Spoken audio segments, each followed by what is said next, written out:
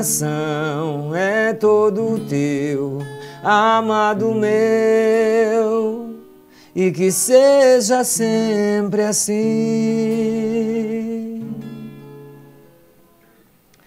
Padre Sefrin, 60 anos na vida da igreja, concretamente como jesuíta.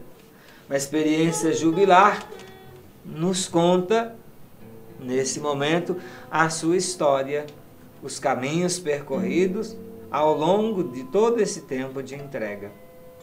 O senhor falou um pouco dos primeiros sete anos, não foi isso?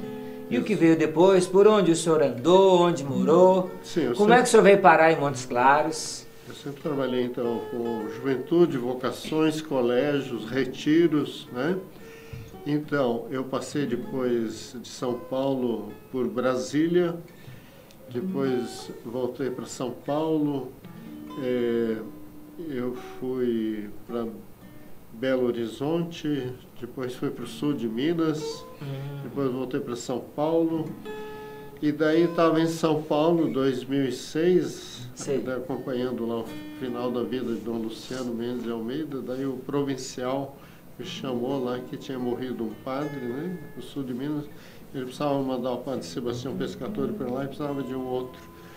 Então eu vim para cá eh, no dia 25 de agosto de 2006. Né? Eu vou fazer 12 anos agora que eu estou aqui como missionário, né? recebendo uma missão. Em todos os lugares a gente é bem acolhido pelo povo, né?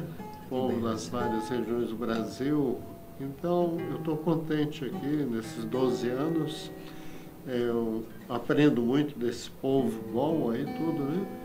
E aí, como é uma paróquia grande, né? são 28 comunidades rurais e 14 urbanas, então nós somos agora três padres, agora vem mais um reforçar.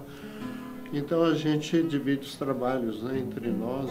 É, Maravilha. É, para ajudar esse povo a aprender deles, né, na, nas comunidades, nas pastorais. Né. Que bênção, padre. Eu percebi, e gostaria que o senhor falasse um pouco para nós, o senhor celebrou com muita alegria esses 60 anos de vida consagrada como jesuíta, servindo a igreja que, que o senhor pode dizer para nós? O que significa para o senhor celebrar esse tempo jubilar na vida? Uma graça de Deus muito grande, né, Padre Jairo? Então, é, Deus, ele escolhe quem ele quer, né? Então, livremente.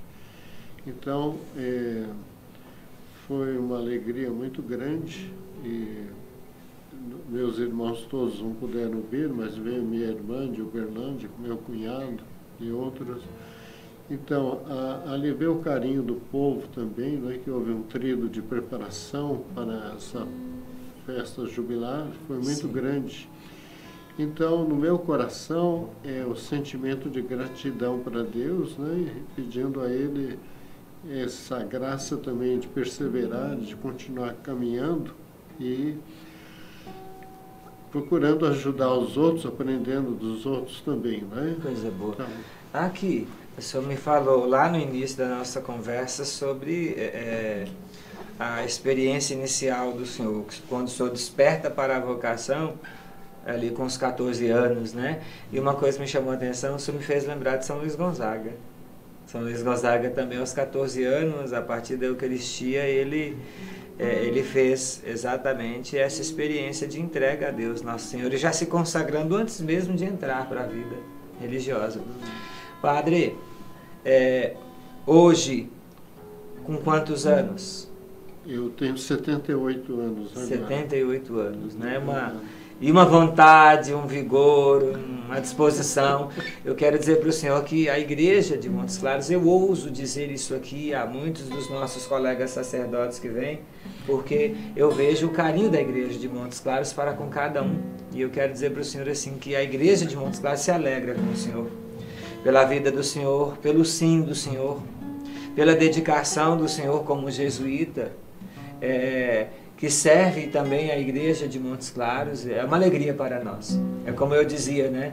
É, eu conheço, eu me lembro muito bem no meu tempo de seminário do senhor fazendo frente a vários a várias ações para o bem dos, dos trabalhos com a juventude em Montes Claros. Então a gente agradece. Hoje, fazer esse programa com o senhor é para nós, no programa Fé e Vida, a oportunidade de agradecer a Deus pela vida do senhor, pelo sacerdócio do senhor, pelo sim do senhor e dizer que o senhor é um sacerdote é, que com a simplicidade, a humildade, a dedicação do senhor já ajudou muito a igreja de Montes Claros em várias frentes e continua ajudando lá na paróquia Nossa Senhora de Montes Claros, né, junto com os sacerdotes. Eu também queria falar para Jair que eu ajudei na orientação espiritual aí do seminarista 11 anos, né? Esse ano que não estou ajudando por um problema de saúde, Sim. mas foi muito bom. Várias gerações aí de seminaristas, né? Muitos deles hoje bom. são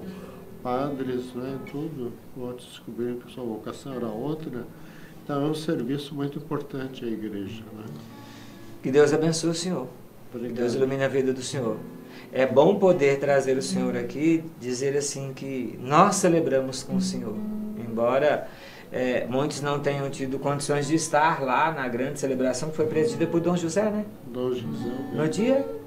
23 de março passado. Uhum dia 23 de março passado. Né? Sexta-feira. O nosso intuito, gente, é, é, de trazer o Padre Cefrim aqui, mesmo que março já, já, já tenha ficado um pouquinho para trás, é fazer essa experiência do relato vocacional, é, ouvir o testemunho do padre e dizer que na verdade é um ano de celebração jubilar para o senhor, é mais que uma data pontual lá em março, né, padre?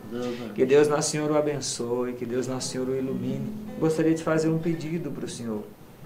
O senhor, como alguém que dedicou toda a vida do senhor e é a alguém que, que abraçou tantas causas pelo bem da igreja, sobretudo para o despertar e o fortalecimento da vocação de tantos jovens que o Senhor acompanhou, o que o Senhor gostaria de dizer àqueles que se preparam para o sacerdócio, os nossos seminaristas na Arquidiocese de Montes Claros, nos jesuítas, nos outros seminários todos, né, que nós temos cinco casas de, de formação em Montes Claros o que o senhor gostaria de dizer para a juventude? Uma palavra para os jovens futuros sacerdotes e para os jovens do dia a dia da nossa igreja.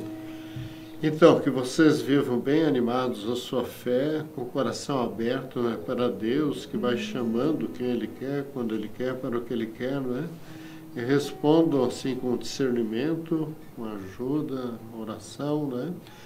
Para que a sua resposta seja uma resposta bem animada, né? bem consciente, bem livre para a entrega da sua vida cada vez mais a Deus Nosso Senhor, né? à igreja e a fazer o bem, né? fazer o bem, entregar a sua vida para melhorar esse mundo aqui, melhorar as pessoas e melhorar esse mundo aí. Deus conta com vocês, tá? Deus acredita em vocês, tá? Entreguem sua vida a Deus com alegria. Quando a gente faz essa entrega, se permite a sedução, como eu cantava lá no início do programa, né, padre? É, a gente encontra a realização, é curioso. A realização do ser humano consiste em responder generosamente com um sim o chamado que Deus lhe faz. Às vezes, o convite soa desafiador e até é, gera insegurança, porque, como Jeremias, muitas vezes a gente se sente incapaz, pequeno, jovem, despreparado, mas aquele que nos chama nos prepara para a missão que Ele tem para nós. Então, assim, Obrigado, Padre, pela presença do Senhor. Que Deus, nosso Senhor, abençoe, ilumine a vida do Senhor. Continue concedendo muitas bênçãos, muita saúde a gente agradece o Senhor e celebra com o Senhor esses 60 anos e celebra com o Senhor esse sacerdócio tão é, é, frutífero para a vida da igreja. Muito obrigado, Padre Jairo, pelo convite, pelo carinho seu e aí, de certa maneira, representando a Arquidiocese aqui, né? Estou muito unido sempre com a igreja, a arquidiocese, com os nossos a gente bispos. vê. Isso é muito bom. Muito isso é muito bom para nós. O testemunho dos senhores que têm mais experiência de vida e um caminho percorrido bem maior que o nosso, o testemunho de vocês nos fortalece para que a gente acredite que para além das dificuldades que surgem no dia a dia, a gente pode dar passos longos no anúncio do evangelho. Muito obrigado. Obrigado. Deus abençoe. Vamos rezar comigo, pedir a bênção de Deus Nosso Senhor. Eu quero mais uma vez citar aqui. Rezamos e colocamos na oração aqui a nossa Santa Casa de Misericórdia de Montes Claros, é, o restaurante Esquema Quente, nosso apoiador, a pessoa do seu Zé Maria e toda a sua família. Também a Água Mineral Viva, na pessoa do nosso diácono permanente, diácono Hamilton. Rezamos por ele, por toda a sua equipe, por toda a sua família. Em nome do Pai, do Filho e do Espírito Santo. Amém. Deus Pai de misericórdia, abençoai as nossas vidas e esta água. Abençoai, Senhor, a vida do Padre Sefrim. Abençoai, Senhor, a vida do Hernani, que nos enriquece com o seu dom colocado a serviço desse programa hoje. Abençoai, Senhor, a todos os que nos acompanham de suas casas e a água que cada um trouxe para junto de sua TV. Por intercessão de Maria, Mãe da Igreja, abençoe-vos e a esta água o Deus Todo-Poderoso, que é Pai, Filho e Espírito Santo. Amém. Que Maria, Mãe da Igreja, aquela que foi escolhida, estenda o manto de proteção e amparo sobre o Senhor e sobre todos vocês.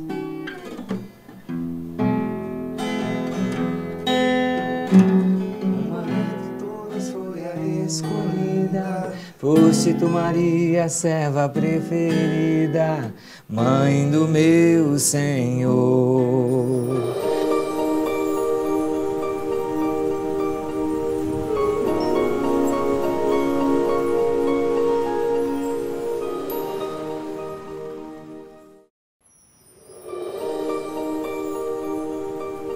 Programa Fé e Vida. Oferecimento: Água Mineral Viva. Beba e sinta a diferença. E Esquema Quente. Bar, churrascaria e pizzaria.